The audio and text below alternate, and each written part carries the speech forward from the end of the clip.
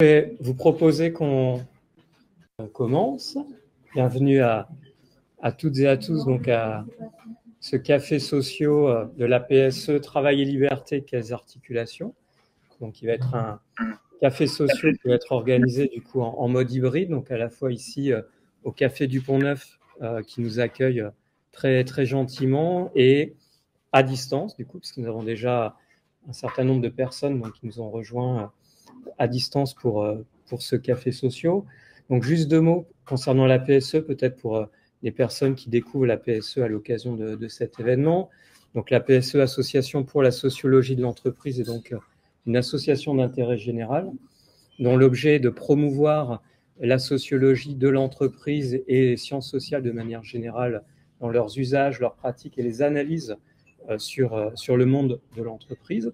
On organise à la longueur d'année toute une série euh, d'événements dans des formats différents. Donc le, café sociaux est un des formats euh, qu'on propose et qui permet voilà, de faire se rencontrer différents publics, à la fois les chercheurs, à la fois les praticiens en sciences sociales et, en sociologie euh, dans l'entreprise, et puis les professionnels et toutes les personnes qui s'intéressent au monde de l'entreprise, à ce qui se passe dans l'entreprise et sur les effets aussi de l'entreprise sur la société et les effets euh, réciproques aussi de la société euh, sur, sur l'entreprise. Donc, juste quelques règles euh, de fonctionnement. Donc, dans les cafés sociaux, l'idée, c'est surtout d'avoir des, échanges et, un débat. Euh, hésitez surtout pas à intervenir donc, pendant, pendant cette séance, que ce soit ici au Café du Pont-Neuf, mais aussi à distance. Donc, pour les personnes à distance, ce qu'on va vous proposer, c'est d'intervenir dans le chat et on donnera, on essaiera de saisir un certain nombre de, euh, de discussion au fur et à mesure pour donner la parole en fait au fur, et à mesure entre la salle et euh, du coup ce qui se passe ici euh, au café au café du Pont Neuf. ce qui est important, voilà, c'est comme on, on, est dans une ambiance qui, voilà, j'espère en tout cas bienveillante et conviviale.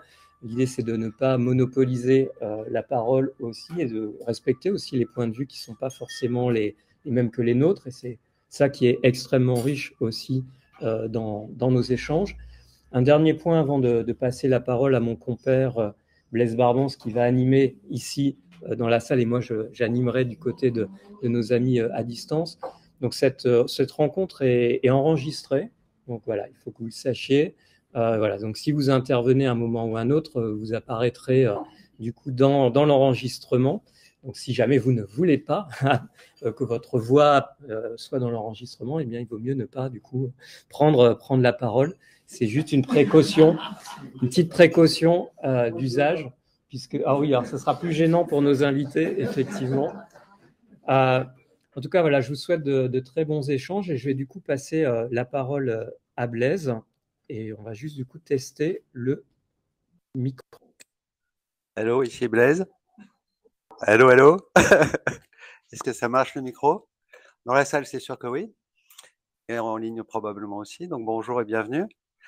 Euh, alors moi, je vais animer, euh, mais vraiment de manière très euh, très light. Je vais pas prendre beaucoup la parole, euh, surtout parce que en fait, je suis à la fois à la PSE et aussi dans le collectif Art Libre qui a produit euh, ce, ce, livre, donc qui est coordonné par Enrico Donaggio, qui aurait bien aimé être avec nous, je pense. il est peut-être euh, en ligne, mais euh, voilà, c'est lui qui a pris un peu l'initiative de, de, tous nos travaux, qui anime notre notre collectif euh, à, à, Marseille. et donc le livre, j'en profite peut-être pour le montrer on en a quelques exemplaires qu'on peut faire circuler dans la salle. Alors en ligne, c'est plus compliqué, mais voilà, Greg, merci de relayer. Euh, donc c'est un livre qui aussi est, coordonné par euh, José Rose, qui est professeur émérite de sociologie à l'université d'Aix-Marseille, euh, qui est aussi membre du LEST, du laboratoire, laboratoire d'économie et de sociologie du travail à Aix. Voilà, et puis Maria Gardia Cairo, qui est italienne et qui est maître de conférence en philosophie. Alors je, je relis dans le dans le dans le la quatrième de couverture parce qu'elle a elle est aussi membre du centre Gilles Gastron Granger et de l'Institut supérieur de professorat l'éducation. Voilà. Et euh, donc, bah, Enrico, Enrico n'est pas avec nous, mais en pensait sûrement. Et donc là, vous avez les deux coordonnateurs de, de ce, cet ouvrage collectif, en fait, écrit à plusieurs mains. Donc, euh, bah, tous les deux intervenants vont se relayer. En fait, on a, on a prévu euh, non pas une présentation trop longue, euh, euh trop académique évidemment, euh, mais plutôt deux, en fait, deux parties dans l'intervention, dans la conférence, dans la, la rencontre, le débat. Euh, donc on fera des, des séquences de, de, questions, de réactions à plusieurs moments dans le dans, dans, dans, la rencontre. Alors, euh, bah, très vite, euh, je crois que faut qu'on pose peut-être une question d'entrée en matière finalement, avant de rentrer dans le, la question du livre, la question du thème travail et liberté. Euh, la première question peut-être à poser, c'est euh, euh, vous êtes un, un collectif, hein, c'est un ouvrage collectif, donc qui est qui a été produit par un, un collectif qui s'appelle Arlib. Alors Arlib, c'est quoi? C'est qui? Quel est le est le l'intention un peu générale du, du, du de l'ouvrage? C'est un peu la, la, première question à poser à, à Maria. Merci, ça marche, oui. Merci beaucoup Blaise. Bonjour euh, à toutes et à tous. Alors oui, en effet, euh, Arlib, c'est euh, Atelier de recherche Travail et Liberté. Euh, c'est un collectif, effectivement, qui existe à Marseille au sein de l'IMERA, qui est euh, l'Institut d'études avancées d'Aix-Marseille Université et euh, Enrico Donaggio, euh, qui était, euh, qui faisait un séjour de recherche dans cette institution. Euh, depuis, il est devenu, il est directeur aujourd'hui de, de, cette institution. A souhaité euh, réunir autour de lui un collectif donc de, de chercheurs, de artistes, de professionnels divers intéressés par les questions du travail et de la liberté. Donc, on est quand même dans un cadre universitaire, mais l'idée, ce n'est pas de faire, euh, c'était pas de faire un énième séminaire euh, universitaire, mais vraiment de d'avoir un croisement de regards euh, interdisciplinaire, intermétier sur ces questions, sur le lien possible, sur les tensions entre travail et liberté. Et donc, on, notre activité commence en 2019 et, et se poursuit encore aujourd'hui et encore au moins pour deux ans. Et euh, donc, euh, je disais collectif trans, euh, interdisciplinaire et inter, euh, interprofessionnel. Euh, et disons que la, les, les, questions, les premières questions que nous nous sommes posées, c'est alors qu'est-ce qu'aujourd'hui dans la société, quelles sont les représentations liées aux questions d'abord du travail? Le travail, c'est ça renvoie à un côté sombre, pathologique, tout ce que tout ce qui nous fait le travail dans le sens de souffrance au travail, dans le sens de aliénation, euh, euh, perte de soi parfois. Euh, mais le travail est aussi quand même aussi euh, possibilité de se réaliser. Le travail est aussi emploi. Le travail est aussi une série de rapports euh, sociaux dans l'entreprise, hors de l'entreprise. Donc en fait on, on, se rend compte que c'est quand même un terme euh, très polysémique qui renvoie à beaucoup de, à beaucoup de, de types de relations. Alors, on n'a pas été les premiers à inventer ça. Hein. Je renvoie juste pour euh, pour être dans l'actualité au, au, dernier euh, ouvrage, par exemple, de Marianne Dujarier, qui, qui, qui s'attache à cette question de polysémie du mot travail. Mais ce qui nous intéressait aussi, c'était comment est-ce que euh, cette polysémie, polysémie du travail euh, fait lien, aujourd'hui fait problème dans son lien à la question de la liberté. Aujourd'hui, on est dans une société où euh, il nous semble que cette diade, comme on l'a appelée, entre travail et liberté, euh, renvoie l'idée que euh, ben, on puisse, avec le travail, se réaliser de manière plutôt individuelle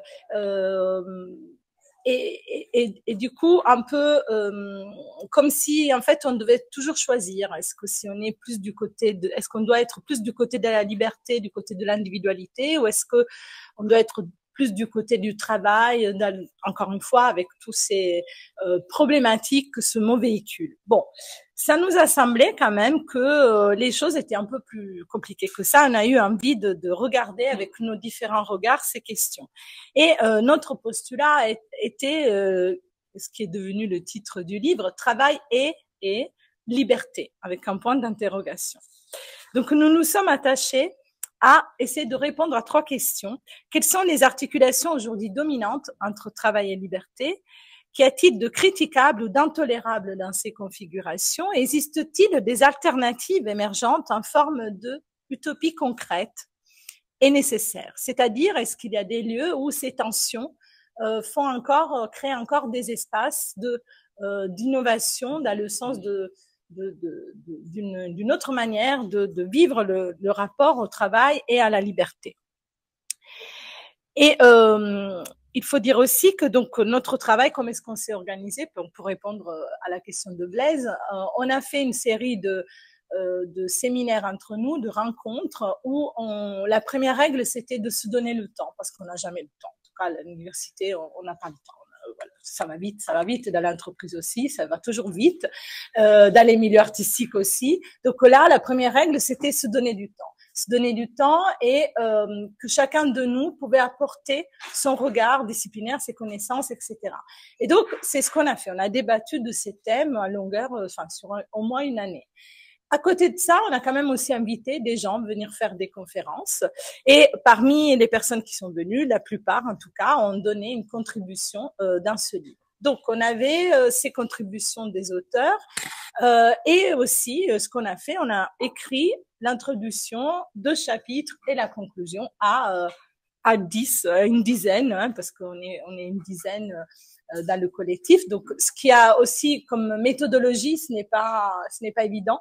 Euh, écrire à plusieurs, euh, ça veut dire se coordonner, ça veut dire s'écouter, ça veut dire faire un pas de côté, accepter ce que l'autre nous dit, comme euh, ce qui nous amène comme ressources, comme ouverture de pensée, etc. Donc ça a été pour tout le monde, je crois, vraiment très très enrichissant, mais aussi très très difficile comme comme travail à mener. Mais voilà, le livre est là et donc je vais quand même euh, euh donner juste euh, dire un peu euh, qu'est-ce qu'on peut y trouver dedans. Juste peut-être un mot général sur la sur la problématique. donc c'est le comment est-ce qu'on a appréhendé ce, ce, ce, lien entre travail et liberté? on a essayé en, en, en se disant que il y a comment dire une, une clé de lecture anthropologique du travail pour laquelle le travail est a été toujours là, c'est-à-dire il y a toujours du travail, il y en aura toujours. Euh, même si les théories des l'usage des robots dans le travail, etc., pourraient nous faire croire qu'on irait vers une fin du travail, on sait que sur le plan anthropologique, le travail est là. Euh, mais on s'est quand même aussi attaché à voir que c'est pas parce qu'anthropologique a été toujours là que du point de vue sociologique et euh, sur les manières de production, sur la manière de produire ces liens entre travail et liberté, ça c'est quand même plus euh, daté. C'est-à-dire qu'on sait que c'est l'industrialisation qui amène ce côté du travail qu'on a appelé emploi dans nos sociétés. Et, euh, et, donc, pour essayer de comprendre euh, tout ça, c'est-à-dire à la fois euh, une clarification notionnelle, hein, qu'est-ce qu'on entend par travail, qu'est-ce qu'on entend par activité, qu'est-ce qu'on entend par métier, on a eu besoin de faire cette clarification notionnelle euh, et aussi euh, de poser, euh, notre regard sur trois niveaux, sur trois perspectives. Une plus macro, euh, plus macro-politique, si vous voulez. Une autre plus méso, euh, qui concerne plus les organisations. Et une autre plus micro, qui est vraiment la manière dont chaque individu euh, se, se, dans, ce, dans, ce, dans cette diade de travail et liberté.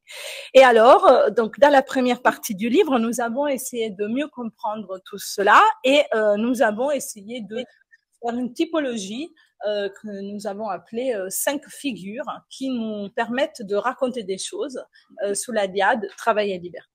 Donc, José va, va détailler cela, juste pour vous donner l'aspect du livre en général. Donc, il y a cette cette ouverture euh, qui est faite par tout le collectif. Ensuite, il y a différentes facettes du problème euh, qui sont analysées. De manière singulière, c'est-à-dire c'est les auteurs, les, les, les, les collègues qui sont venus travailler avec nous qui nous ont donné un, un, un texte. par exemple, le mouvement continu entre aliénation et anticipation est ce qui caractérise le travail vivant, c'est c'est Christophe Dejour qui, qui ouvre le livre sur cela. La nécessaire réflexion autour de la démocratisation du travail, c'est Manuel Renaud. Contradiction des entreprises libérées qui butent euh, sur la subordination juridique des salariés, Daniel Linhart. Une nouvelle culture du travail indépendant, qui se révèle euh, qui se révèle moins une promesse d'une libération que la euh, que le symptôme de la crise de l'économie classique ce sont trois collègues, donc euh, Massimiliano Nicoli, Luca Paltrineri et Muriel Prévost-Carpentier. Euh, puis euh, les modèles d'établissement du travail libre entre management alternatif, autonomie et surveillance, c'est le texte de Isabelle Berebi Hoffman, je ne sais pas si elle est connectée, mais si elle veut intervenir, on lui donnera évidemment la parole. Puis l'articulation entre utopie et critique dans le travail libertaire, et c'est la contribution de Michel Lallemand. Ensuite, en conclusion de ce livre, puisque ce livre nous a, vous avez compris, accompagné pendant au moins deux ans. Donc nos, nos, pensées, nos réflexions ont évolué aussi, et nous avons eu le besoin de s'ouvrir justement vers cette, euh, vers la recherche de réalité donc d'utopie réelle où euh, on pouvait regarder de plus près euh, cette question euh, du travail et liberté. Donc c'est un peu sur ça qu'on a fait notre conclusion et aujourd'hui, mais on en reparlera tout à l'heure, nous essayons d'avoir un travail aussi d'enquête auprès de certaines réalités sur le territoire de Marseille.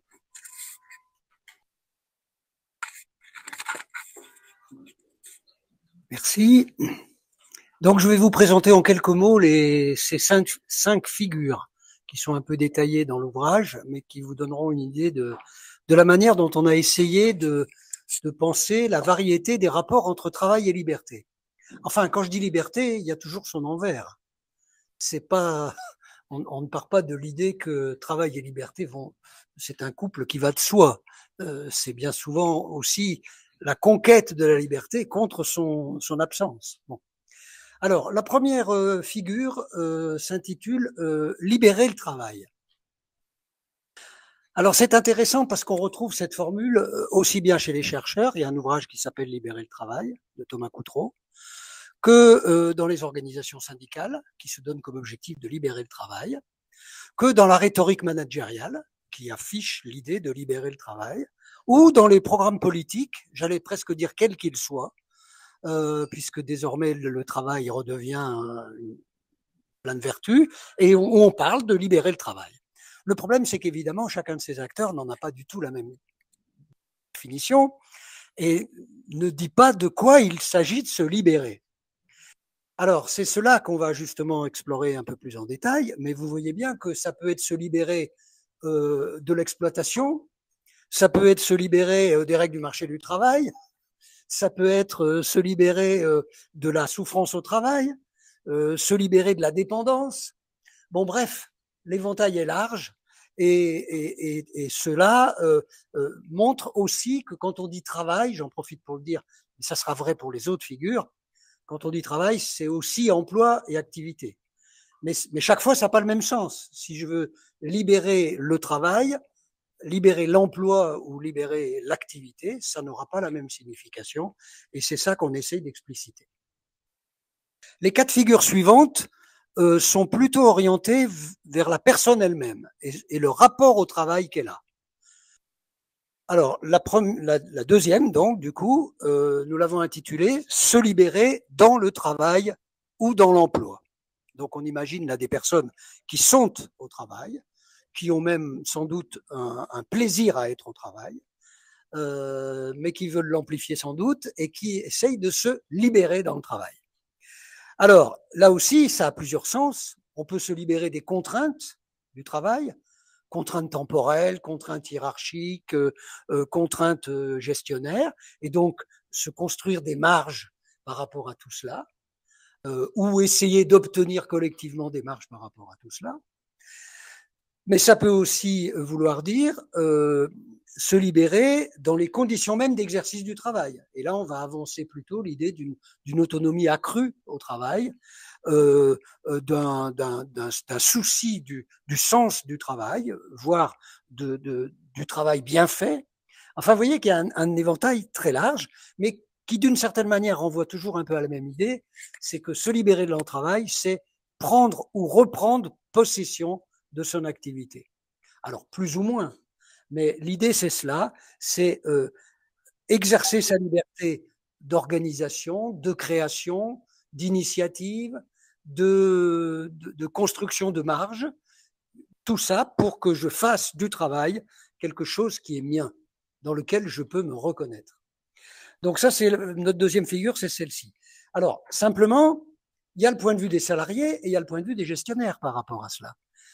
Parfois, qui peut être équivalent on peut imaginer que cette, euh, idée de, souhaiter que les travailleurs se libèrent euh, dans leur travail peut être à la fois intéressant pour le salarié lui-même, qui trouve là les marges que je viens d'évoquer, mais aussi chez le responsable euh, gestionnaire qui, lui, va espérer à travers cela profiter, mais au, au bon sens du terme, des initiatives, des propositions, etc. Bon, voilà. Donc, chaque fois, nos figures sont traversées par des, contradictions parce qu'elles sont portées par des acteurs différents. Troisième figure, très différente, c'est se libérer par le travail, ou je dirais par l'emploi. Alors là, on imagine que euh, ce sont des personnes qui, par exemple, sont inactives et qui trouvent par l'accès au marché du travail un emploi précis, des opportunités qui vont leur offrir une certaine marge de liberté qu'ils n'ont pas. On peut avoir la figure de, la personne qui reste au foyer, qui s'occupe de la famille et qui euh, trouve un emploi et qui en trouve à travers l'emploi à la fois un statut, une rémunération, une reconnaissance qui sont des éléments constitutifs justement d'un rapport plus libre au travail. Ça ne veut pas dire que le reste n'existe pas et qu'on peut se libérer par le travail et retrouver aussitôt des rapports de travail extrêmement violents, euh, de la souffrance au travail, etc. Hein, c'est pas des figures euh, type au sens où on est dans une catégorie et on n'est pas dans une autre. Mais enfin voilà, c'est ça la troisième figure. La quatrième est un peu moins facile à définir, elle est un peu entre deux, enfin c'est mon point de vue. on a signé tout ça ensemble, mais on a chacun nos, petites variantes. Alors, la quatrième, c'est se libérer malgré le travail ou l'emploi. Alors, on voit bien l'idée, c'est des gens qui ont un emploi, mais c'est pas la version positive de tout à l'heure, se libérer dans le travail. C'est quelque chose de plus fuyant. Je me libère malgré le travail, c'est-à-dire que je vais essayer de trouver autant d'occasions possibles pour que je ne subisse pas à l'excès euh, ce qui est contraignant dans le travail. Donc des formes de fuite qui peuvent se manifester à travers l'absentéisme, à travers euh, les congés maladie, mais des formes aussi de lutte qui peuvent être de dire euh, je, m'organise ou je me rebelle ou etc. Donc malgré le travail, je veux pas le perdre. Euh, je vais essayer de, de, me libérer malgré lui et de trouver des formes de retrait, de mise à distance, euh, etc. Alors évidemment, ça ne se fait pas tout seul. Euh, il faut avoir les ressources pour le faire, hein, bien sûr. Je pourrais le dire à chaque fois. Et c'est une question pour les gestionnaires, parce que c'est à la fois euh, un problème. Hein, pas besoin de revenir à Taylor pour savoir que la flânerie au travail, c'était quand même le problème principal de, Taylor à l'époque. Bon, ben aujourd'hui, c'est encore le cas. Ça va pas de soi de travailler. euh, d'avoir de s'engager dans l'activité. Donc ça peut devenir. Et, donc là, il y a un rapport qui va s'établir. J'en parlerai tout à l'heure à propos du niveau intermédiaire parce qu'on est en plein dans les questions de gestion là. Euh, mais disons qu'il va y avoir aussi une, des, divergences de vues autour de cette idée, à la fois essayer de faire que les salariés continuent à, à, à se mobiliser dans leur travail et dans leur activité, et puis en même temps faire face à des, ces formes de, de, mise en marge, de mise en retrait. Et donc là, on voit toute une dynamique. Enfin, la dernière euh, figure, c'est euh, se libérer du travail. Enfin, on pourrait dire de se libérer du travail, de l'emploi, du salariat. Là, il y a tout un éventail possible. Là, vous voyez qu'on est dans un tout autre cas de figure. où il ne s'agit pas de se débrouiller sur place ou d'avoir une vision mobilisatrice de son travail, mais on a envie de s'en libérer. Et s'en libérer, ça peut vouloir dire euh, je, démissionne, euh, ça peut vouloir dire je, fais ma vie ailleurs, euh, je construis une alternative dans un mode de vie, euh, je fais diverses choses, ou je, je retrouve de l'activité dans un autre contexte qui n'est pas salarial. Bon, par exemple, euh, je, je, je, je, me retrouve dans une communauté euh, euh, de travail. Alors, on dira pas de travail, mais il n'empêche qu'il y a de l'activité. Mais il n'y a plus de rapport salarial. Bon, donc, du travail, euh, c'est euh, qui est une forme de, de refus, de rejet, aussi positivement. Euh, parce que euh, se construire en tant que sujet, euh, ça n'est pas forcément exclusivement le faire dans une situation d'entreprise, de, contrat salarial, etc. Donc on peut le voir de, de, diverses manières. Dernière chose à ce propos, cette libération, c'est aussi un défi, parce que, enfin, vous avez en tête un exemple évident, euh, le développement des formes d'auto-entrepreneuriat, qui est une manière de, dire je veux me libérer du travail salarié. Je veux être à moi-même mon propre employeur. Bon. Donc, on pourrait dire c'est dans cette catégorie-là. Ça l'est, et en même temps, un des ouvrages, un des chapitres d'ailleurs traite de cela, et en même temps, on sait bien que l'auto-entrepreneuriat est aussi une illusion de liberté, parce que c'est s'inscrire dans des, contraintes fortes de l'environnement, de, des clients, de, etc. Et, et donc, voilà. Alors, voilà les cinq figures. Je, je détaille pas plus. Je voudrais simplement insister sur le fait que nos figures, c'est une manière de penser, mais c'est aussi une manière de classer des observations. Mais il faut pas vouloir imaginer que une personne rentre dans cette catégorie et ça va durer 30 ans comme ça. En réalité, nos vies sont tissé à travers ces rapports-là, parfois entremêlés. On peut très bien avoir une activité bénévole extrêmement conséquente et en même temps, quand on est au boulot, on a envie d'être tranquille, libre, ou initiateur. Enfin, tout ça s'entremêle, bien sûr. C'est uniquement par commodité qu'on a fait cette distinction. Voilà ce que je peux vous dire. Merci José. Donc euh, premier temps, euh, peut-être euh, avant de, vous laisser la parole, à la fois à distance et puis dans la salle. Euh, donc on a un panorama un peu général en fait de Là, vous avez une vision globale de, du livre, très rapide évidemment, très résumé, mais euh, trois niveaux euh, de, de, de réflexion des figures du travail et de rapport au travail, des problèmes, des questions posées autour de, de la de l'aliénation, de l'émancipation, euh, l'un ou l'autre, euh, l'un euh, avec l'autre, comment voilà, des questions autour de ça, des questions qui se posent de, de tension entre travail et liberté. Donc peut-être avant de rentrer un peu plus dans le dans le détail dans la deuxième partie de de la rencontre, déjà des premières réactions, suggestions. Alors, euh, je ne sais pas si on donne d'abord, euh, Greg, la, la parole. Est-ce qu'il y a des réactions en ligne? Pas trop? On donne la, la réponse, la, la, parole à Ronsal pas, Pour l'instant, pas de questions. Il y avait juste euh, la compagnie Pourquoi se lever le matin qui donnait le, le bonjour, justement. Ah. Ils sont connectés devant, devant un écran, apparemment. Et ils sont nombreux. Ils sont nombreux. Donc, ils vous donnaient juste le, le bonjour. Voilà. Okay. Ils n'ont pas de questions pour l'instant. Ok. Alors, je passe le micro d'abord à, à Bernard. J'ai juste une petite question qui ne veut pas du tout rajouter une sixième, sixième figure, mais si par exemple, je, pense à du, des boulots de services environnementaux ou humanitaires avec une municipalité qui font de la société locale, j'ai envie d'appeler ça se libérer avec le travail. Dans, dans quelle catégorie vous le, le rentreriez?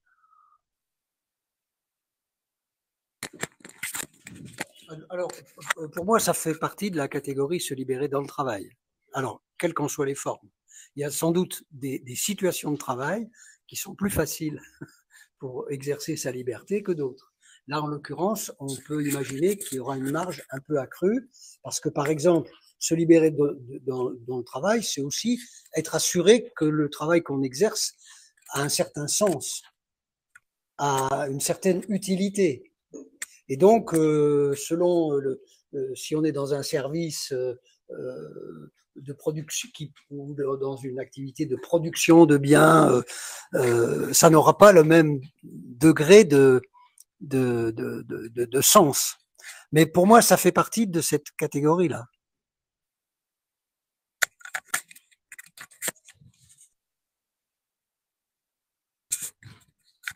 Alors, je suis un petit peu gênée parce que j'avoue être arrivée quelques minutes en retard, donc sans doute que j'ai peut-être euh, raté quelque chose. Donc, par avance, je vous demande d'être euh, complaisant, si ce n'est bienveillant.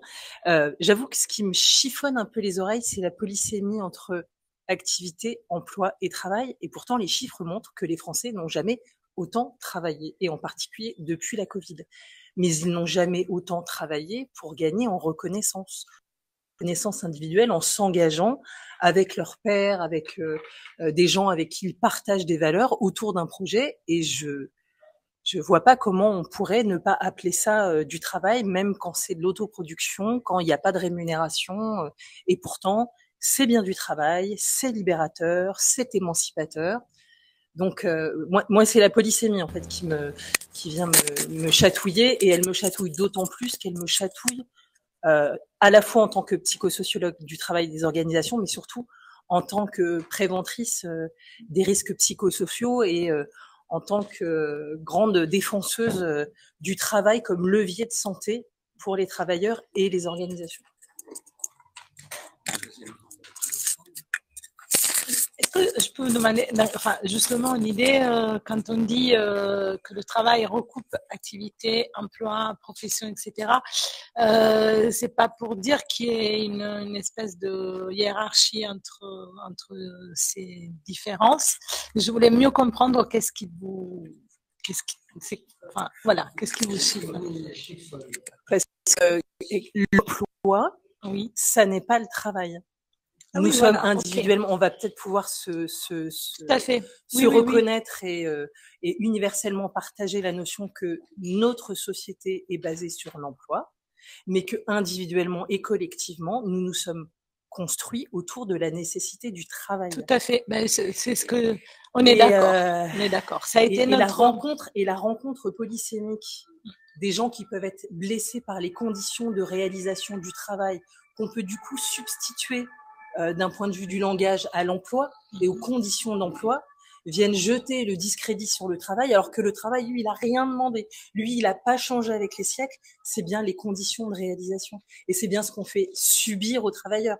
on peut constater que les conditions du travail se sont améliorées au travers de la pénibilité, mm-hmm. mais que les conditions de réalisation de travail, elles ne font que se dégrader. Euh, en témoignent euh, les chiffres autour de la santé. Par exemple, un, Juste un petit exemple, en 95, euh, en 1995, alors imaginez maintenant, je vous laisse euh, imaginer l'inflation, 95% des consultations de médecine de ville étaient liées au stress au travail.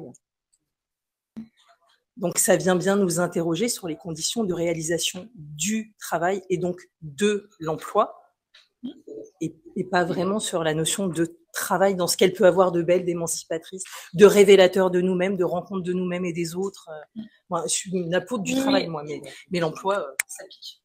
Oui, je pense que en fait notre, je disais tout à l'heure qu'on avait euh, tous des entrées disciplinaires différentes, mais je pense qu'on s'est rapidement accordé euh, je le disais au début, c'est que quand je parlais d'entrée anthropologique, c'est euh, c'est la question de, du travail dans le sens du faire, dans le sens euh, d'une comment dire d'une nécessité aussi. Donc c'est dans ce sens-là que je dis toujours travail, il y en aura toujours.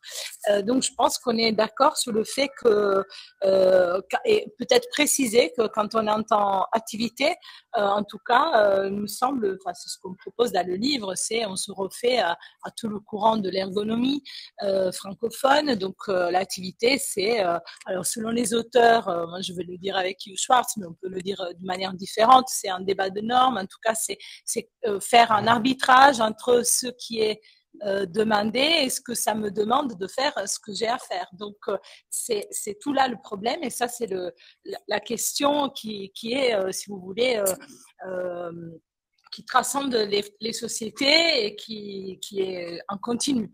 Maintenant, c'est vrai que euh, les rapports autour de cela, les conditions de production euh, du travail, telles qu'on les connaît aujourd'hui, elles se situent historiquement. Et, tout, ça, c'est entremêlé. On ne peut pas faire, euh, on peut pas faire sans. Voilà, on ne peut pas ne pas prendre en considération ce que vous avez dit, hein, les, transformations et la dégradation parfois de ces conditions.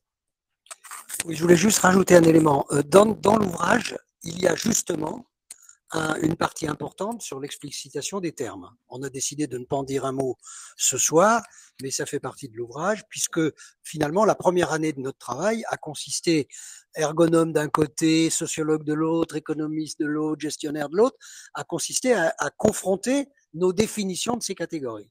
Donc ça, c'est la première chose. La deuxième chose, c'est que la polysémie, elle est déjà dans le travail. Parce que le travail, tout de suite, on, ajoute un adjectif. Si je vous dis travail, je vais vous dire travail salarié, travail domestique, travail bénévole, euh, travail industriel, etc. Je vais vous dire quelque chose qui va préciser énormément ce que j'appelle travail. Donc moi, j'ai besoin de cette catégorie, mais j'ai aussi besoin des qualificatifs qui lui sont associés. De la même façon, parce que je suis économiste de formation, j'ai besoin de la catégorie d'emploi, parce qu'elle a un sens très précis dans notre société, puisque l'emploi, il est euh, euh, régi par des règles, il y a un code, alors qu'on appelle le code du travail, bien entendu, mais il faut dé dépasser le, le, ce jeu, ces jeux sur les langages. Mais donc voilà, j'ai besoin de l'emploi et j'ai besoin de l'activité, parce qu'à un moment donné, j'ai envie de comprendre ce qui se passe au plus près de ce que font les personnes dans leur activité de transformation du réel, et donc l'activité me servira. Donc moi, la polysémie ne me pose pas de problème si on, si on dit bien à chaque fois de quoi on parle.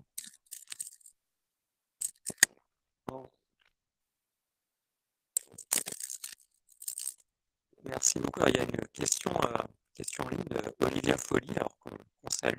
bonjour, Olivia. Donc Olivia vous remercie pour euh, cette ouverture euh, stimulante du coup sur, sur ces différents sujets. Et elle pose une question à partir de quoi avez-vous fondé en fait les, figures que vous avez présentées aujourd'hui? Vous êtes basé sur des enquêtes empiriques. Hein, à partir de quoi euh, avez-vous construit en fait ces cinq figures que vous nous avez, euh, vous avez présentées?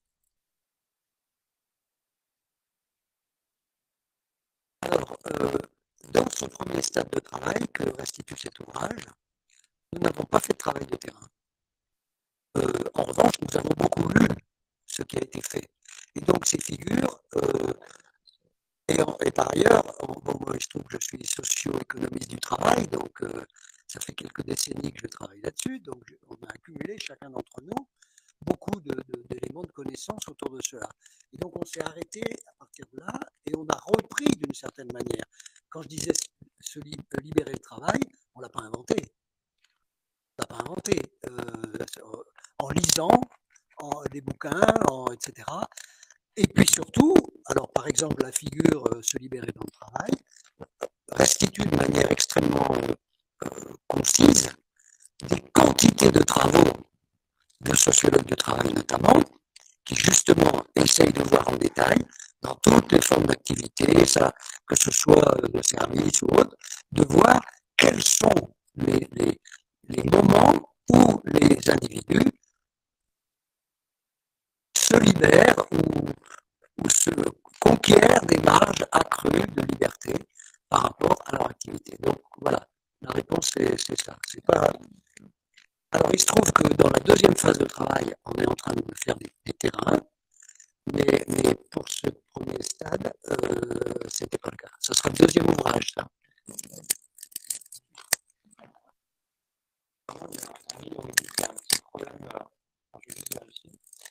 Est-ce que quand je parle là, vous m'entendez bien? Non. Essayez avec l'autre micro. Bonjour Vincent Brulois. Bonjour Olivia.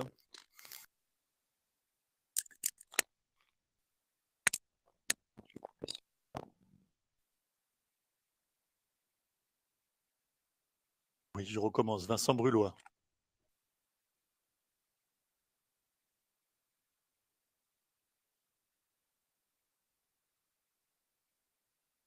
Euh, oui, merci pour votre présentation et cette possibilité de discussion. Euh, de, de, de, deux questions. Euh, J'aime bien votre organisation qui est assez claire dans votre présentation et certainement dans le livre entre libérer et se libérer, ce jeu. Euh, une question qui me vient peut-être, est-ce que vous, cette euh, libération du travail, est-ce qu'elle est pour vous, euh, ou dans le livre, est-ce qu'elle est uniquement individuelle ou est-ce qu'elle peut être aussi collective? Est-ce que vous prenez cette dimension en compte? Et euh, seconde question aussi courte, est-ce que vous, peut-être des formations professionnelles, est-ce que vous, vous, vous êtes intéressé au mot de cette libération, au mot MOTS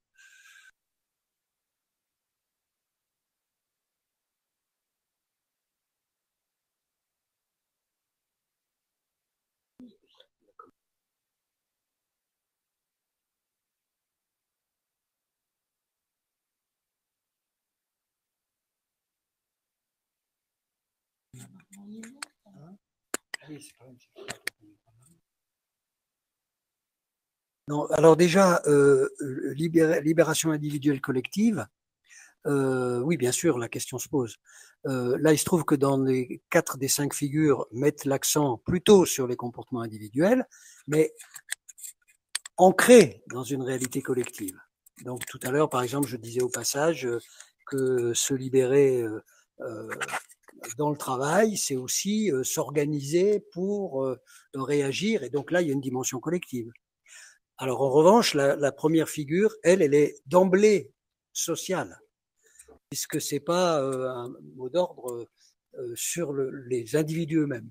Donc pour moi, là, je n'ai peut-être pas assez insisté là-dessus, mais il y a bien en permanence ces dimensions individuelles et collectives de cette question de la libération. En tout cas, on n'est pas du tout dans la logique euh, gestionnaire, euh, théorie du capital humain, euh, qui ramènerait toutes les questions de, du rapport au travail dans des formes totalement individualisées. Voilà ce que je peux déjà dire.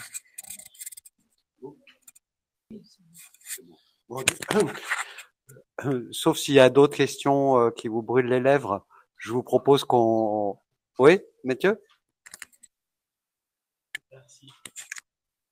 Euh, bonsoir.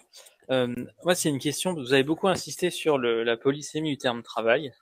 Et je me demandais si vous aviez réfléchi à pourquoi, dans des situations aussi différentes que le dirigeant ou la dirigeante qui veut libérer la créativité de ses employés, ou que la personne qui est au chômage, qui veut se libérer en accédant à un statut, pourquoi on trouve cette référence à cette notion de liberté?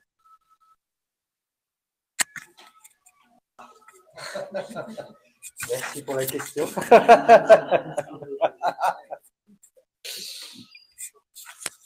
Parce qu'en fait, euh, voilà, c'est un peu euh, le postulat du livre, travail et liberté, dans le sens de euh, justement dans cette idée de réorienter les situations du travail, en fait, de trouver autre chose. C'est l'idée qu'en faisant cela, que la liberté, on peut la déplier dans le travail, mais c'est dans le sens de, du rapport aux autres, du rapport euh, au monde. En fait, c'est, c'est parce que peut-être que nous avons voulu défendre une, une notion, une vision de la liberté euh, qui n'est jamais, euh, justement, c'est, peut-être aussi, euh, comment dire, ça ne va pas de soi, mais euh, une vision de la liberté qui n'est pas à, l'image, euh, en tout cas qui, qui, qui n'est pas quelque chose que de l'individu. Voilà, c'est euh, l'idée que euh, on, peut on peut comprendre la notion de liberté euh, si on la regarde dans ses rapports ambigus, ambivalents avec la notion du travail. Donc on, on s'est vraiment concentré sur ce lien. Donc euh, évidemment, oui, liberté euh, plutôt dans le sens d'émancipation euh, et plutôt dans le sens d'une, encore une fois, pas une réussite individuelle, jamais dans ce sens-là, mais euh, dans une dans une transformation, dans une dynamique, dans un processus plutôt collectif, même si évidemment c'est toujours des individus qui sont impliqués. Je ne sais pas si j'ai répondu. Juste pour préciser que dans le titre, il y a un point d'interrogation.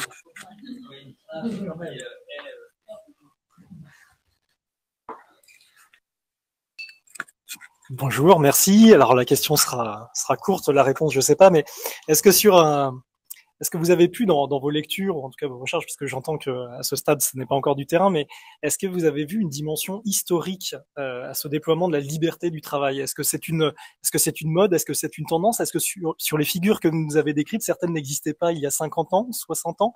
Est-ce qu'à l'intérieur de ces mêmes figures, il y a eu des mouvements? Est-ce que vous pouvez nous en dire deux mots?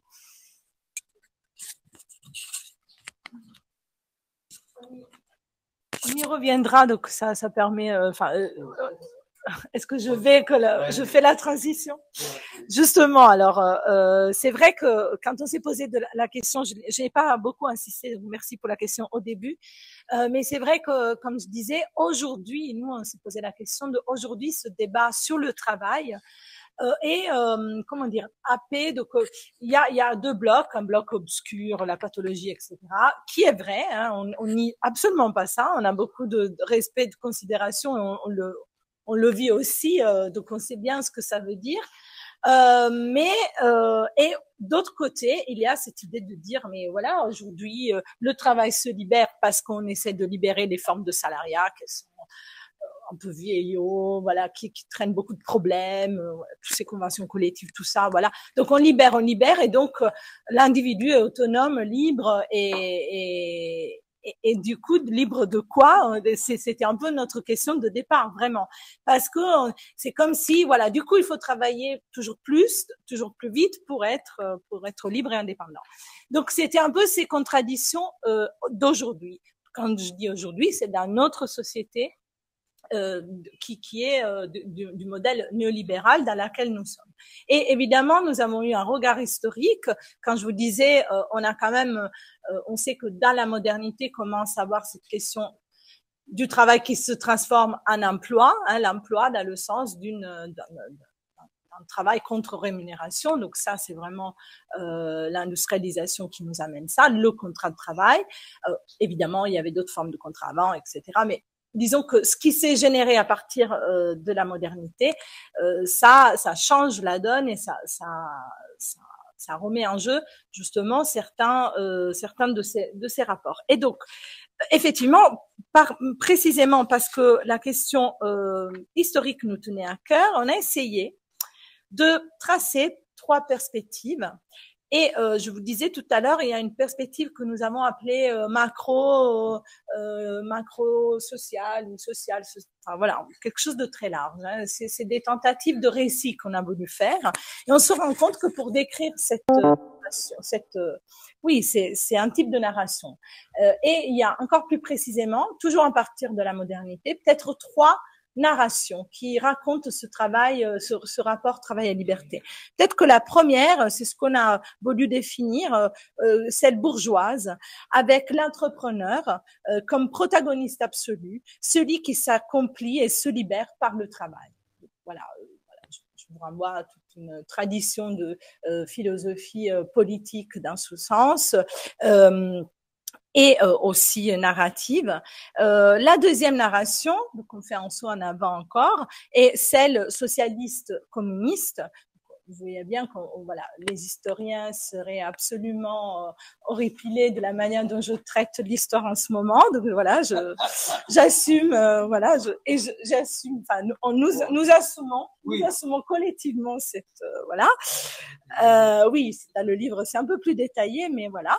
Euh, et, et, donc narration socialiste communiste avec euh, très nettement deux versions très euh, deux visions très nettement opposées euh, avec deux figures qui sont les protagonistes de ce récit le capitaliste et l'ouvrier. Et puis troisième narration qui correspond à la, à la phase historique actuelle est celle que nous avons euh, décrit comme néolibéral, où le travailleur individu se perçoit lui-même comme une entreprise euh, dans une société faite euh, d'unités d'entreprise. Et là, je cite euh, Michel Foucault. Euh, cette figure remplace et recouvre les précédents, euh, car dans le cadre néolibéral, chacun peut et doit être entrepreneur de soi-même, responsable non plus de sa force de travail, mais justement de son capital humain et de la manière dont il peut euh, faire en sorte que ce capital euh, se développe et, donc euh, puisse amener des conditions de bonheur et d'empowerment. Et voilà pour, je ne sais pas si j'ai vraiment répondu, mais c'était voilà un peu notre vision macro, comment est-ce qu'on peut la restituer aujourd'hui avec ce type de narration. Après, euh, une fois qu'on a dit ça, ben, évidemment, on a envie d'aller d'aller plus loin parce que c'est vrai qu'on a dit euh, ce premier travail, euh, c'est le fruit plutôt de rencontres entre nous, de lecture, mais vous avez bien compris que chacun de nous avait déjà fait dans le passé, enfin, c'était un peu son métier, des enquêtes, des, des recherches. Donc, on avait quand même euh, tout ça euh, euh, bien présent. Et, du coup, évidemment, une fois qu'on a fait toute cette belle description, euh, ben, il fallait aller un peu plus dans le détail, dans le concret de la société. Et là, c'est ce qu'on appelle, nous, le niveau intermédiaire. Mais oh, là, on s'est euh, intéressé aux organisations du travail. Donc, on a essayé de comprendre qu'est-ce, que ça veut dire, ce niveau intermédiaire. Donc, je vais laisser... José prend la main là-dessus. Et puis, encore une fois, à partir toujours pour interroger cette, cette diade et la, euh, la, la, travailler aussi historiquement, ce rapport euh, individuel au travail à la liberté, qui lui est à la fois vraiment anthropologiquement situé, mais aussi historiquement situé.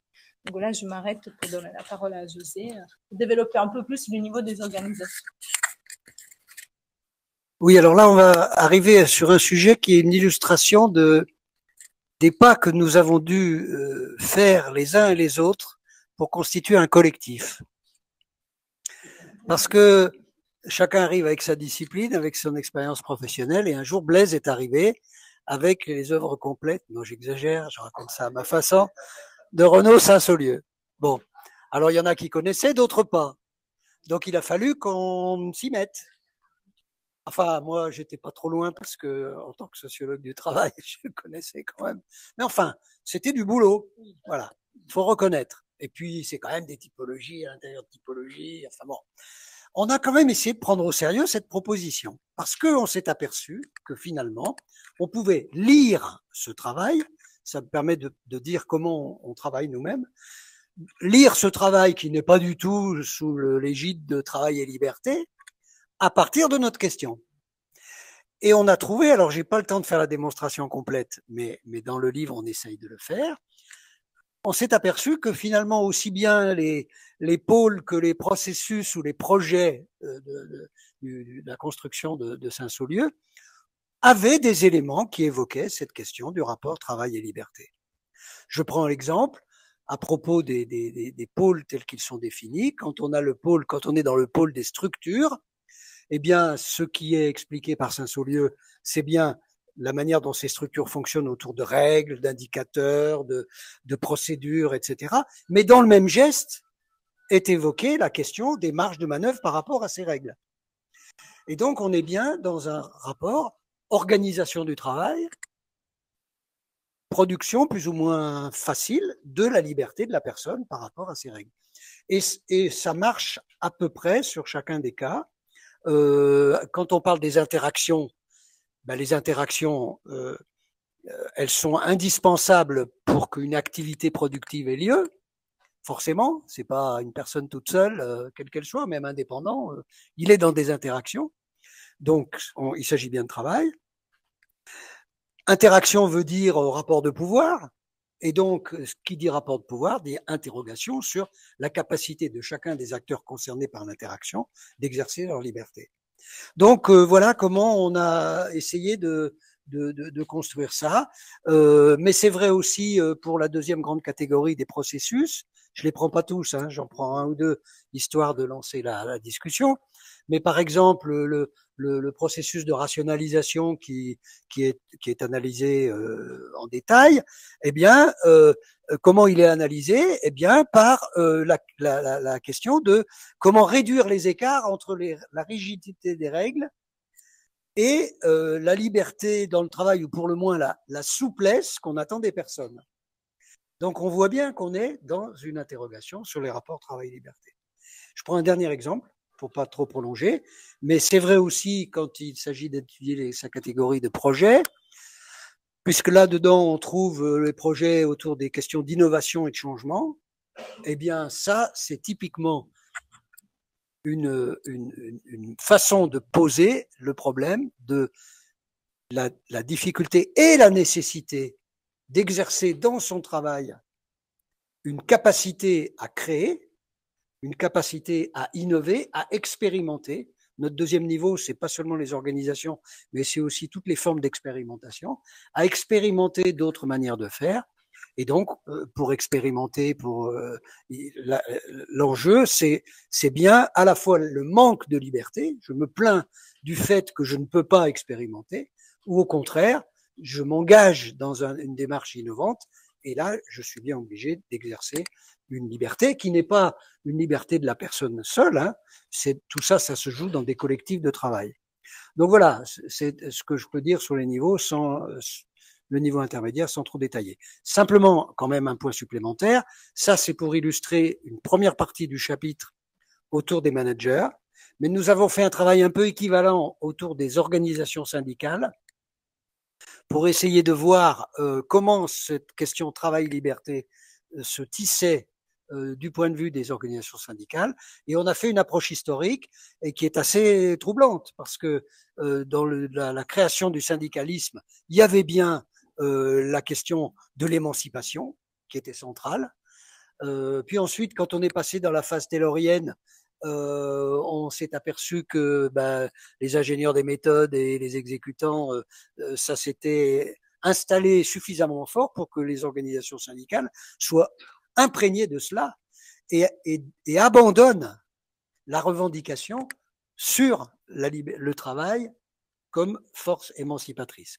Et donc, on, on imagine que nous sommes actuellement dans une troisième phase où s'expérimente de manière tout, tout, à fait incertaine euh, des, des, des, modes d'engagement syndical qui euh, reposent la question de la liberté.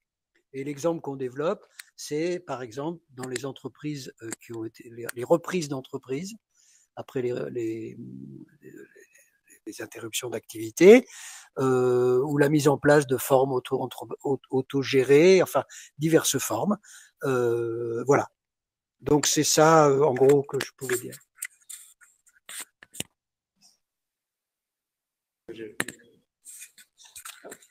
Il y avait une, question en ligne justement donc de Anne-Marie qui posait la question euh, justement sur euh, la place de, de, de l'action de la liberté dans l'innovation et dans la question finalement de l'appropriation de, de, ces espaces peut-être d'innovation. Poser la question de la créativité. Est-ce que la créativité au travail rend plus libre en fait? Est-ce que toutes ce, ces questions autour de la créativité, est-ce que ça aurait un lien aussi euh, avec la question de, la liberté?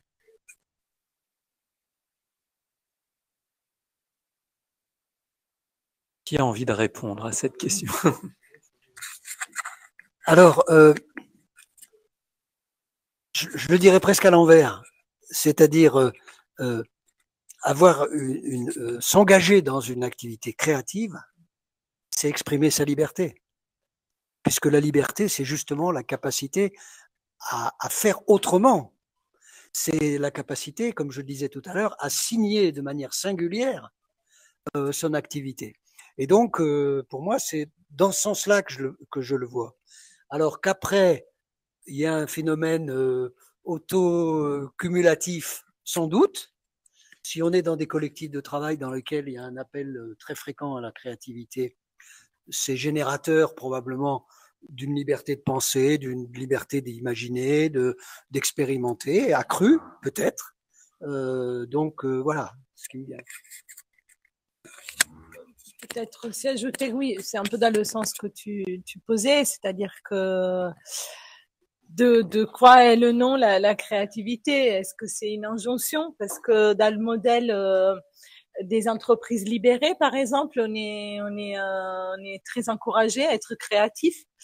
Euh, mais du coup, jusqu'où elle peut aller, cette créativité Avec quels outils Dans quels espaces et, et qu'est-ce que ça concerne, quoi ça concerne cette, créativité? Est-ce que c'est euh, la manière dont je vais réorganiser mon espace? Personnel ou est-ce que c'est la manière dont une équipe peut faire autrement ou est-ce que ça va jusqu'au euh, changement, modification d'une stratégie en cours euh, une stratégie d'entreprise. Voilà, où est-ce que ça se situe? Ça rejoint effectivement la question de la liberté. Et aujourd'hui, on voit que euh, liberté et créativité sont très très proches, presque parfois utilisées comme synonymes.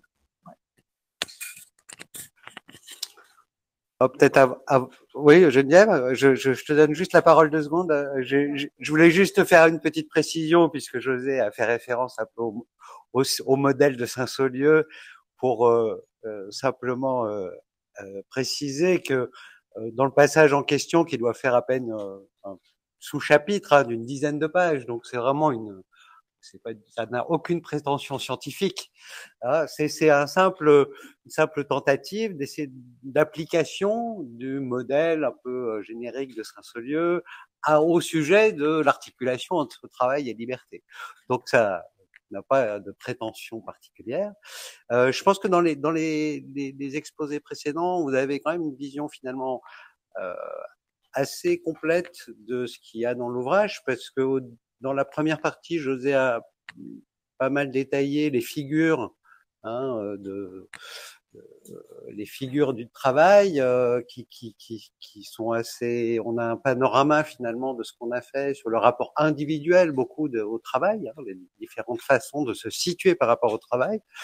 Euh, Maria Gradia a plus parlé après de, de, des grandes narrations autour du travail, donc du niveau vraiment euh, macro, euh, sociétal, etc. Et alors donc on, on, en vient finalement à, il me semble moi ce qui fait aussi l'intérêt de, de, la présentation à la PSE aussi de, du niveau intermédiaire en fait, du niveau des, des organisations, des équipes, du management, de voilà de, de l'entreprise ou, ou, des organisations euh, en, en, général. Euh, donc euh, alors c'est vrai qu'on a bon le champ est tellement vaste qu'on peut pas tout traiter, hein, donc on a en fait un, un, petit aspect de réflexion sur la, des bases de sociologie d'entreprise. Est-ce qu'elles sont est-ce qu'elles sont utiles pour réfléchir à cette question des tensions, des articulations entre travail et liberté? Euh, Il y a un petit volet aussi sur le, les, les côtés euh, rôle des organisations syndicales. Euh, et, et, finalement, moi, je, de, de l'expérience vécue du collectif aussi, euh, ce qui est très riche aussi, c'est de s'apercevoir qu'en fait, euh, euh, bah, tous ces niveaux, macro, intermédiaire, micro, euh, le rapport individuel, le rapport collectif. En fait, pour, pour avoir une, voilà, pour euh, essayer de tenter de, de se situer, euh, en fait, euh, on, on, a souvent des, que des petits bouts de ces éléments. En fait. Voilà, le, le, le cadre général, la, la, le panorama, le, le fait d'avoir une, une, vision un, peu organisée de, ce monde, euh, vraiment de ce système. Hein, euh, et de, croiser donc des philosophes, des sociologues, des, anthropologues, des gens, des, artistes. C'est très très intéressant, très riche. En tout cas, on y a pris nous du plaisir. Voilà. Geneviève, je te passe la parole. Alors, je suis intéressée par votre approche euh, parce qu'elle décline pas mal d'aspects. Et, moi, pour avoir travaillé longtemps avec Renaud Saint-Saulieu, vous l'avez évoqué, je pensais très fort à lui en, en, vous écoutant. Je me demandais aussi si la dimension identitaire était présente, à la fois individuelle et collective. Et en même temps, je me disais que l'identité, est-ce qu'elle est toujours liée à la liberté ou pas? Est-ce qu'on peut avoir quand même aussi une identité, même s'il y a moins de liberté? Donc c'est une question que votre réflexion me posait.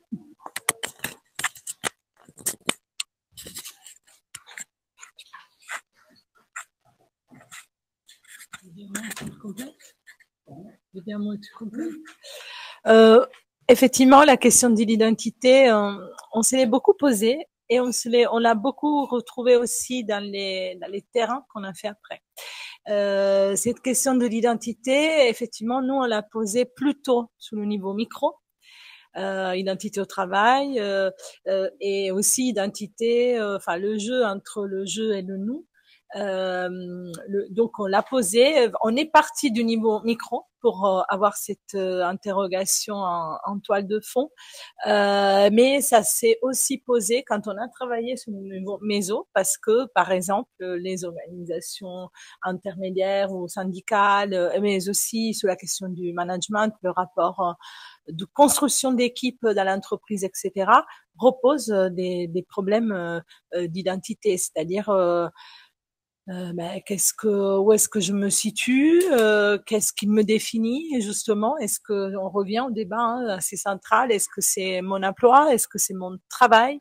Et d'où ça nous a fait aussi beaucoup travailler sur les sous les figures, hein, c'est-à-dire euh, justement euh, si je suis, est-ce que je dois me définir? Moi, je, je, pense très fort là à un entretien en particulier qu'on avait fait dans une coopérative où euh, justement la actuelle présidente qui était salariée avant disait ça, disait à un moment donné j'ai eu un moment, j'ai besoin de, m'éloigner, je suis revenue en tant que bénévole parce que mon identité était trop collée à mon emploi. Et, donc euh, effectivement, ce sont des questions qui, que nous avons rencontrées au niveau de, des savoirs euh, théoriques, si vous voulez, mais aussi au niveau des expériences. Et comme chaque fois, pour beaucoup de nous, euh, d'entre nous, ce sont vraiment, ça c'est aussi un aspect méthodologique qu'en tout cas on voulait travailler. Hein, mais Blaise, merci pour tout ce que tu as rappelé, parce que euh, aussi au niveau méthodologique, on voulait casser un peu cette idée de théorique pratique et, essayer de voir qu'est-ce que ça veut dire réellement faire des allers-retours. Hein. C'est-à-dire que ben, les concepts peuvent bouger par rapport à ce que le terrain nous ramène et, et comment est-ce qu'on peut aussi voir le terrain autrement? Parce que il faut pas avoir non plus le mythe du terrain, c'est-à-dire qu'on peut aller dans une entreprise, dans une situation de travail et rien voir parce qu'on parce qu'on n'est pas outillé pour. Et voilà. Donc, comment ça se fabrique? Comment est-ce que se fabriquent les allers-retours? Et dans cette fabrication-là, la question de l'identité, euh, ça a été central. Oui, juste une petite chose. Euh, je, parlerai volontiers de construction identitaire plutôt que de l'identité en tant que telle. Euh, C'est-à-dire que parce que c'est là que que l'on peut voir les processus qui, qui vont permettre ou pas, soit du point de vue de la personne et de ses, la propre représentation qu'elle a d'elle-même, soit du point de vue de l'organisation dans laquelle la personne va entrer, entre dans ce processus de construction identitaire, où là, ça prend une dimension plus collective. Bon, Saint-Saulieu inscrit d'ailleurs ça dans, dans la notion de culture, euh, puisque justement, euh, la construction identitaire, elle est pas seulement un travail de soi sur soi, mais elle est peut-être d'abord un travail d'un collectif, d'une organisation qui tente, tant bien que mal, de construire euh, une identité commune ou des éléments de une construction de certains éléments partagés. Enfin, voilà, je le dirais un peu comme ça.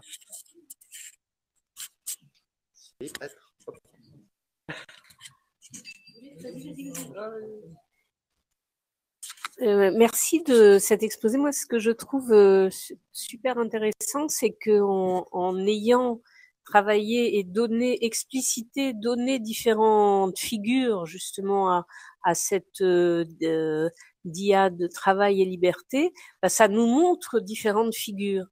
Et, euh, pour garder cette, métaphore des, figures, les figures sont, ne sont pas des catégories, c'est vivant. Et une figure bouge, euh, évolue, est en pleine contradiction, et intégrée à d'autres choses, et surtout n'est pas dans des dans des modèles. Sinon, elle est et même si euh, il faut des statistiques, il faut beaucoup de choses. Et à partir de à partir de là de donc ça ça ce mérite il est il est fondamental. Après c'est vrai comme vous disiez euh, il y a du stress il y a le travail emploi ça ouvre.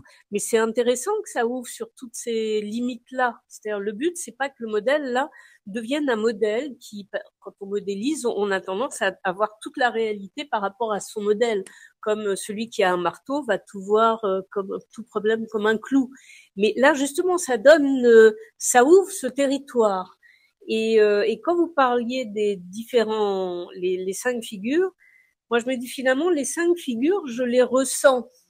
et je me suis amusée. Donc j'ai voilà, j'ai marché en déambulé entre ces figures. Et donc moi, clairement, le, je me libère dans le travail ou je cherche à me libérer dans, dans le travail. Il y a un enjeu. Et, et donc je me libère, c'est bien par le travail que je me libère. Et donc c'est malgré le travail que je vais me libérer. Et c'est pas le et, et de fait, en, en, étant comme ça, je suis sur autre chose que le travail et je me libère du travail. Je suis émancipée de cette notion parce que ma liberté est ailleurs.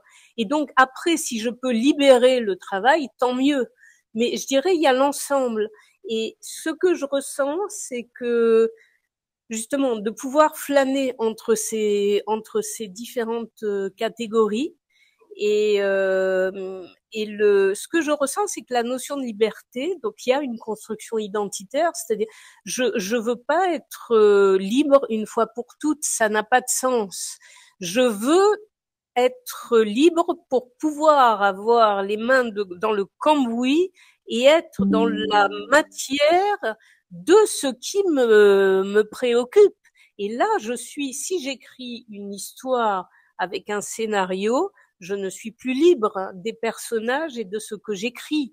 Si euh, si je si je construis une œuvre et qu'elle commence à s'élaborer, elle s'élabore, elle se travaille et elle m'en, elle me, elle m'en, elle m'en, je suis dans son emprise. Et donc je veux me libérer de ça, mais L'enjeu, c'est d'avoir justement dans mon identité, de, de, me rapprocher de mon, mon travail.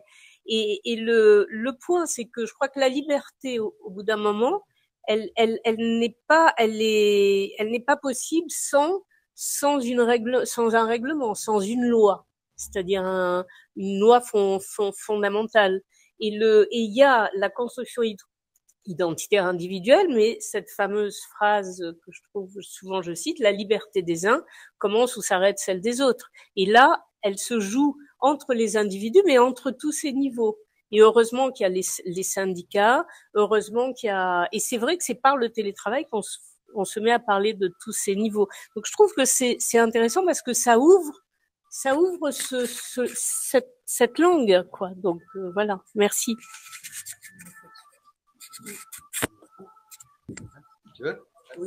Ben, merci. Hein. La, la, prochaine fois que je présente mes cinq figures, c'est vous que j'embauche là. oui, oui, bien sûr. On n'est pas du tout dans des choses figées. Hein, je pensais en vous écoutant euh, les, histoires de vie, parce qu'à un certain moment j'avais travaillé sur les histoires de vie. On pourrait très bien raconter les vies euh, à travers euh, l'entremêlement de ces cinq figures.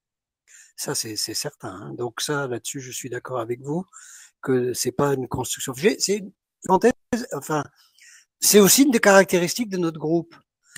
C'est-à-dire de ne pas e-, être construit sur un, point de vue, une thèse partagée.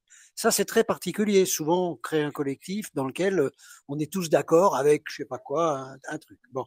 Et, et, on est dans la même. Euh, et nous, c'est, on, on, on revendique l'inverse. C'est qu'on arrive d'horizons très différents, hein, tous les trois, par exemple, on a des parcours euh, très lointains. Et après tout, euh, ils sont aussi légitimes les uns que les autres. Et, et, et c'est la présentation de ces points de vue que, voilà, je trouve.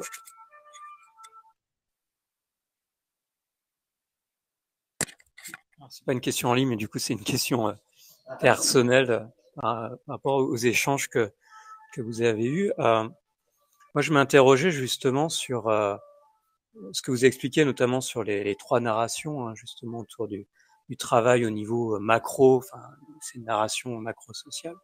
Je posais la question de savoir si c'est une, est-ce que c'est pas une vision très occidentale en fait, ces questions de, de narration? Et du coup, ça me questionnait dans un monde qui est de plus en plus aujourd'hui euh, globalisé, etc. Est-ce que ces questions du rapport au travail, du rapport euh, travail et liberté, sont pas aussi en train de s'hybrider, de se questionner?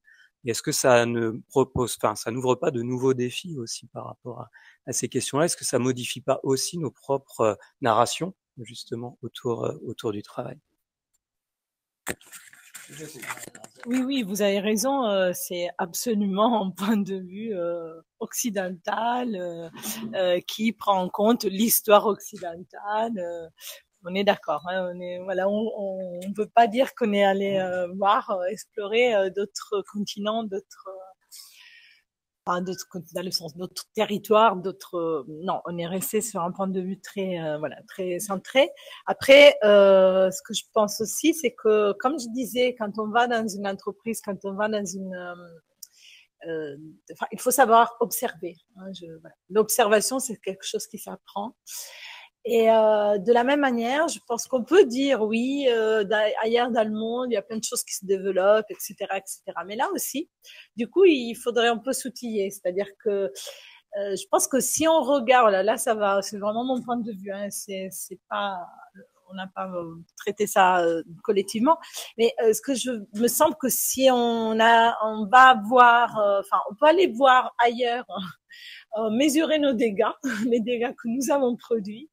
Euh, et puis, euh, ou alors, on, on, va, on va vraiment, on, essaie de voir vraiment qu'est-ce qui se fait de complètement autre. Donc là, c'est la question de l'altérité par rapport à notre modèle qu'il faut apprendre à regarder et aussi apprendre à prendre en considération. Bon, dans l'histoire, euh, si je pense, euh, euh, bah, par exemple, le toyotisme, on a bien appris, ça nous a bien été utile. Donc, quand on veut, on sait faire ce travail-là. Après, on peut s'interroger sur la altérité aussi du modèle, mais ce que je vais dire, ou alors on peut le considérer encore dans une mouvance occidentale, enfin, je sais même si c'est à l'autre bout du monde, mais ce que je vais dire par là, regardez l'altérité, ça se construit, ça s'apprend et ça va pas de soi parce qu'on peut se retrouver à aller voir plutôt ce que nous, nous avons déjà amené et qu'est-ce qui nous revient en retour.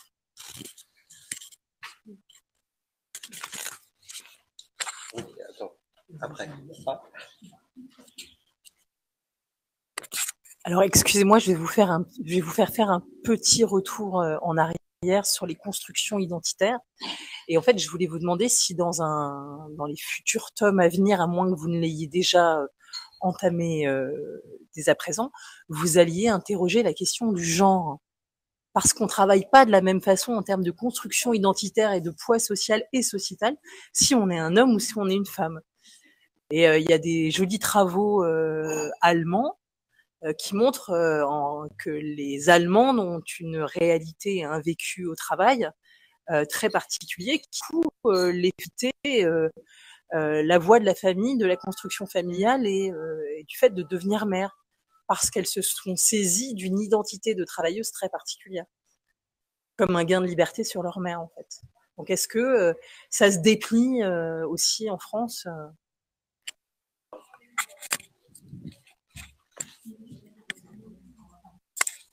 je vais faire une réponse très rapide, c'est-à-dire que en fait, on sait enfin notamment alors Anne-Marie qui est un membre du collectif euh, très très active. Euh, Anne-Marie Don Richard, oui, euh, chercheuse au l'Est, qui a beaucoup travaillé sur les questions de genre sur les questions de travail. Et donc, effectivement, elle nous a bien ouvert les yeux. D'abord sur le travail domestique, et puis, euh, et puis évidemment, euh, sur la question du genre, et elle, elle va nous, proposer euh, des, des, choses dans ce sens-là. Donc c'est prévu parce qu'on s'est rendu compte que dès qu'on avait fini le livre, on a commencé à faire tous nos autocritiques, et donc parmi les autocritiques, euh, celle-là, euh, voilà, à sa place, et donc on la prend bien au sérieux.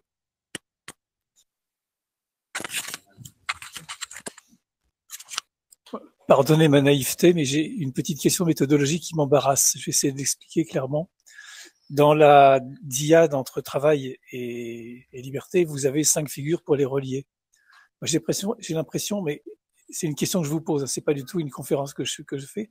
Qu'il manque un troisième pôle. C'est pas un tabouret à deux pieds, c'est un tabouret à trois pieds. C'est le cadre de référence porteur de, de liberté et de contrainte auquel on se réfère pour se comporter en tant que le mot liberté sous-entend qu'un individu ou des individus vont choisir d'aller à gauche ou à droite, de faire ou de pas faire, de suivre ou de pas suivre. Donc il y a, la notion d'initiative et la notion d'initiative pour moi elle est tout à fait liée au cadre réglementaire, juridique, managérial, économique, moral, etc. qui, qui régit la question qu'on est en train de, de traiter.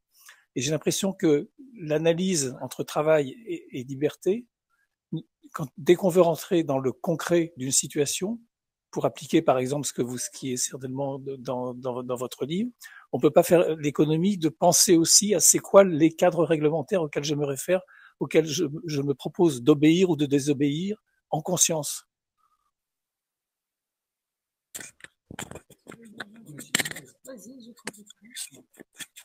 Euh, alors, euh, je vais dire deux choses. La, première, c'est il y, y, a, y a un côté parti pris dans notre affaire. C'est-à-dire, on est bien conscient du fait que de formuler d'emblée le rapport travail-liberté, c'est choquant parce que ce qui est généralement mis en avant, c'est l'inverse. C'est le travail empêcheur de liberté. Donc, on a souhaité, de la même manière que tout à l'heure Maria Grazia disait, on a essayé de se distinguer de l'approche dominante en sciences du travail qui est centrée sur le, le versant sombre du travail, la souffrance, etc. On a là aussi souhaité explorer l'autre. C'est par ce biais-là qu'on est arrivé à, à, liberté. Mais évidemment, chaque fois qu'on décline, là je l'ai peu mis en avant, je l'ai dit une fois ou deux, mais trop vite, on décline ça en fonction des contextes. Donc, je ne considère pas, moi, comme un troisième pilier, mais je, parce que justement, il, est. C'est au moment de l'analyse qu'on a besoin d'examiner de, de, les contextes. Mais pourquoi pas, après tout, imaginer qu'on aurait rajouté ce troisième terme? Je ne le sens pas vraiment comme un, un équivalent. En revanche, je pense que chaque fois qu'on essaye de décliner ces rapports travail-liberté, et absence de liberté, on fait référence à des contextes organisationnels, sociétaux, familiaux, euh, puisque euh, c'est aussi ça qui compte. Hein. Pour compléter, pour ajouter, effectivement, notre entrée, euh, ce n'est pas celle des institutions en tant que telles, mais chaque fois, on peut se poser la question, on s'est posé la question de qu'est-ce qu'on décide euh, ou qu'est-ce qu'on décide, dans quel cadre on décide qu'on peut faire ça. C'est-à-dire, c'est plutôt les questions du la question du rapport aux normes. Euh, normes dans le sens euh, juridique, euh, normes morales. Euh, ce que je vais dire par là, c'est que du coup, notre entrée, elle n'est pas, euh, voilà, elle n'est pas l'institution en tant que telle, mais c'est plutôt la, une manière de regarder comment se jouent des rapports en particulier les rapports entre travail et liberté à tous les niveaux de l'échelle euh, sociale et sociétale, c'est-à-dire macro, méso et micro. Donc, c'est vraiment un questionnement sur les rapports en tant que tels et non pas euh, une entrée par les institutions. Quel type de travail ou quel type de, liberté euh, dans telle ou telle autre institution. En fait, en fait, je posais la question parce que pour, pour, moi, le comportement des individus dans toutes ces situations et tout ça, et de, le rapport aux, aux, différents cadres est dominé par la question éthique. C'est, on se la pose consciemment ou pas, mais on se la pose toujours. Qu'est-ce qu'il est bon que je fasse dans ces situations pour moi et pour les autres?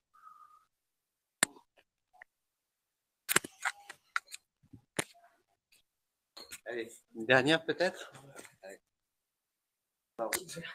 Et puis c'est un peu dans la dans la continuité, mais euh, parce qu'en effet, j'avais bien senti que le mot liberté euh, prenait un sens multiple. D'ailleurs, vous avez pris euh, le temps dans votre ouvrage de, de définir euh, ce qu'était l'emploi, le travail, les activités. Est-ce que vous avez pris le temps de définir ce qu'était la liberté? Et puis euh, dans les deux premières figures, mais peut-être dans les autres, je vois aussi moi un autre mot, un autre terme qui émerge, qui est plutôt l'autonomie. et je, je, crois que c'est Yves qui parle, qui dit l'autonomie au travail, c'est quand on participe à la prescription de son propre travail. Est-ce que vous êtes rentré justement à ce à ce niveau de, de, de, de détail? Et puis, euh, est-ce que vous avez également un, un point de vue ou est-ce que vous l'avez émis? Alors, je, je, lirai votre livre, j'aurai peut-être la réponse, mais euh, sur la, la euh, l'impossibilité ou euh, en tout cas cette permanente tension qu'il peut y avoir entre autonomie et une totale liberté, puisque si on veut faire quelque chose ensemble dans l'organisation, il y a un moment où euh, bah, l'autonomie est contrainte.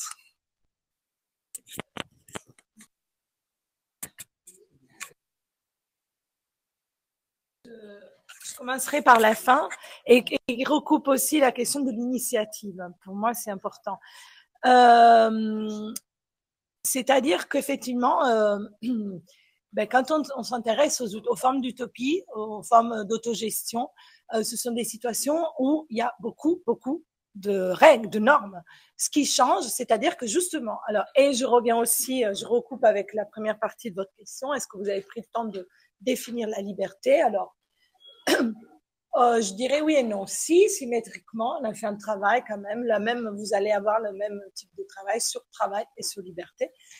Euh, Mais euh, ce qui, voilà, ce qui nous intéressait, c'est vraiment de voir cette, cette relation ensemble, plus que les mots séparés. Et je reviens sur la question de le et parce que justement, c'est très intéressant le lien ou les, les, les, les, différences entre liberté comme rêve, enfin une espèce de vide comme ça, de toute puissance, et l'autonomie. on peut être autonome dans une dans une situation euh, très très contrainte. Et là, je parle non, pas de n'importe quelle expérience, mais des expériences d'utopie concrètes. Utopies concrètes qui, qui sont dans l'histoire et qui en a encore aujourd'hui. C'est-à-dire que euh, ce qui change, par contre, c'est qu'on définit ensemble les règles, c'est-à-dire qu'on se met d'accord. C'est peut-être là le, la question, la différence une fois qu'on s'est mis d'accord sur les règles à suivre, ben là, on est quand même, euh, on répond à des règles que nous nous sommes données. Et donc, euh, dans ce sens-là, c'est la garantie de pas avoir un bazar euh, pas possible, mais d'avoir un ordre que nous avons choisi ensemble. Euh, d'une première, d'une une première euh, partie de la réponse. Et euh, effectivement, l'autonomie, c'est quelque chose aussi qui s'apprend et qui engage euh, encore une fois un collectif, mais on peut aussi être commencer ou essayer d'être autonome ensemble dans un groupe, apprendre en autonomie, euh, qui passe aussi peut-être par un stade euh, de hétéronomie. En tout cas, il y, a, plusieurs stades à imaginer. Comme on n'est pas libre du jour au lendemain, on n'est pas autonome du jour au lendemain. Et euh, quand on travaille un peu dans l'éducation, dans l'éducation, dans l'enseignement, on, voit bien à quoi ça peut. Voilà, un enfant, il n'est pas autonome par magie, il apprend pas à écrire euh, euh, tout seul. Même et même ça, je le dis, même dans le cadre d'expériences euh, d'alternatives pédagogiques. Il y a peut-être d'autres règles sur la lecture, sur l'écriture, mais il y a quand même des règles qui sont posées. En tout cas, il y a un souci d'accompagnement et c'est la même chose sur la construction de soi dans un collectif de travail. Mais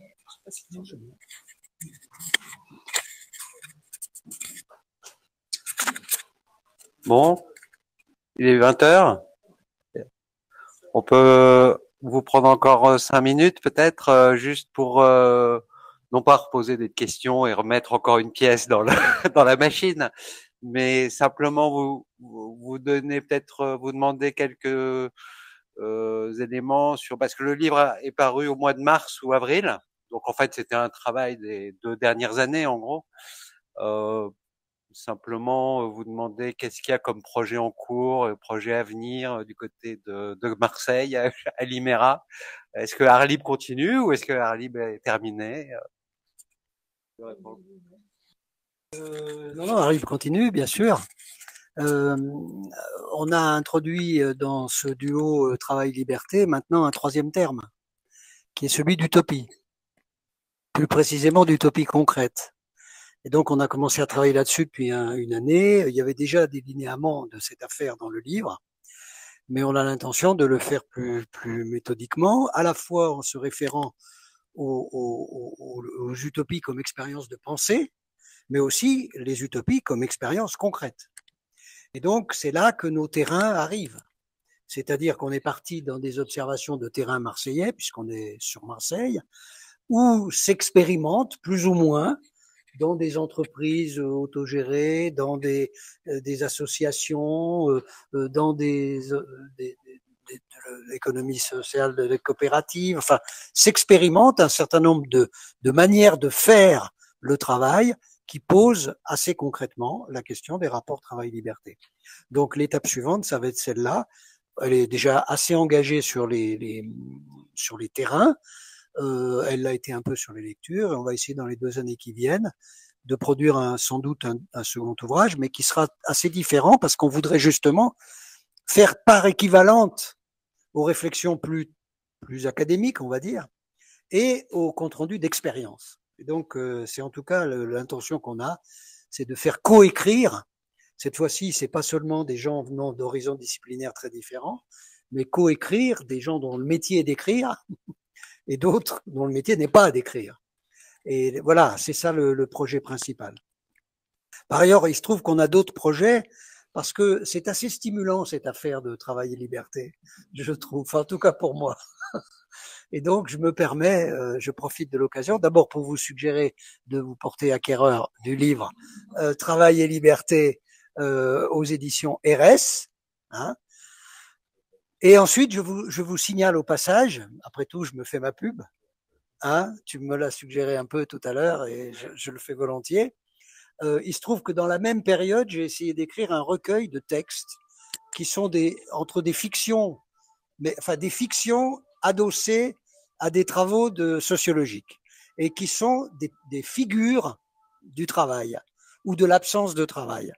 Donc c'est un recueil qui s'appelle Travail que vaille et qui est euh, et, qui présente, mais alors cette fois-ci pas du tout théoriquement, euh, de manière tout à fait euh, simple, enfin des, des situations professionnelles dans lesquelles au corps défendant des personnes concernées se pose la question, alors le plus souvent quand même, du rapport entre travail et aliénation, mais parfois aussi travail et liberté. Mais je pense qu'il y a quand même de manière dominante le truc.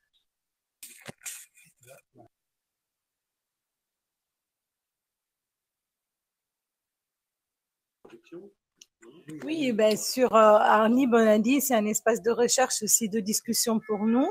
Donc, on continue quand même à avoir euh, des conférences. Euh, on essaie d'avoir une forme un peu différente cette année. On a essayé, c'est-à-dire de faire rencontrer, dialoguer un chercheur spécialiste, mais aussi quelqu'un qui, qui, mène des expériences concrètes comme des coopératives. Voilà.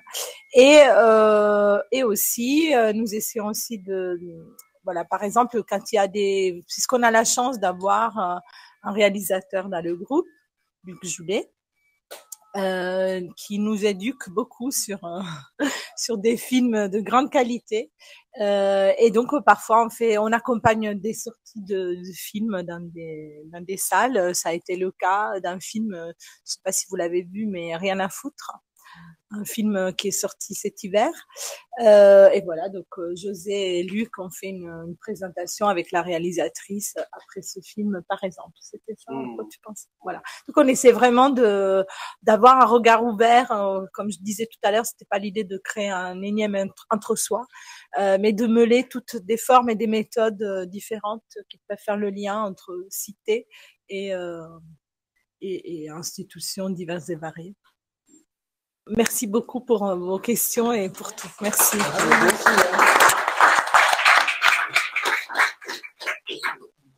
Ah oui, les films de Luc Joulet, je vous les conseille. Hein. Il en a fait trois sur le travail.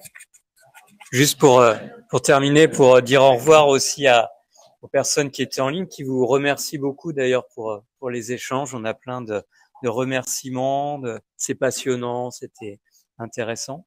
Donc merci beaucoup d'avoir participer aussi donc à, à ce café sociaux. Merci à toutes et à tous ici euh, également. Prochain, prochain événement de la PSE, donc ça sera le 30 juin à la Bourse du Travail cette fois-ci, euh, sur les, les questions d'articulation entre le dialogue social et le dialogue professionnel, et qui sera également retransmis, euh, du coup, euh, on espère, en tout cas, euh, en direct avec la possibilité de, de, pouvoir partager. Merci beaucoup à nos invités, et puis à, à très bientôt pour, pour la suite.